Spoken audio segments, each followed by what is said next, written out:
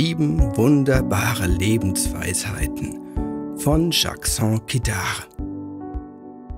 Alles, was dich nervt und verärgert, ist dazu da, dich Geduld zu lehren.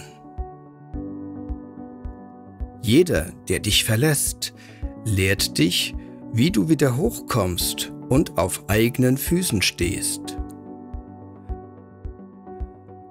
Alles, was dich zornig macht, ist dazu da, dich Vergebung und Mitgefühl zu lehren. Alles, was Macht über dich hat, ist dazu da, dich zu lehren, wie du deine Macht zurückgewinnst.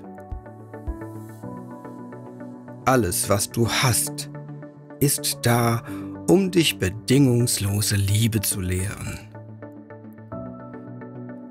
Alles, was du fürchtest, ist da, um dich Mut zu lehren, deine Angst zu überwinden.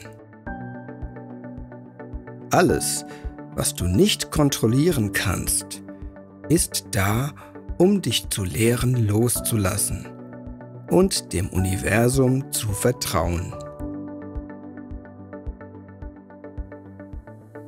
Wenn dir dieser Geistesblitz gefällt, verleih ihm Flügel und denk immer dran. Hör auf dein Herz, lächle und sei glücklich.